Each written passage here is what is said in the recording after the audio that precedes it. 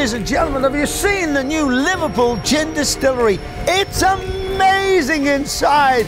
Come and have a look. Have you ever thought of making your own gin?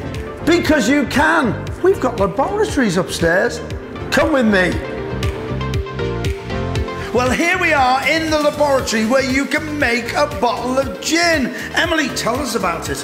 It's an absolutely brilliant experience. You can come here, you can make your own gin. We've got all different kinds of botanic botanicals which you can choose from. You get to bottle the gin yourself, label it yourself. It's exactly the same as Liverpool gin label. However, there's no Liverpool gin written on it. It will be called Emily's gin or Pete's gin.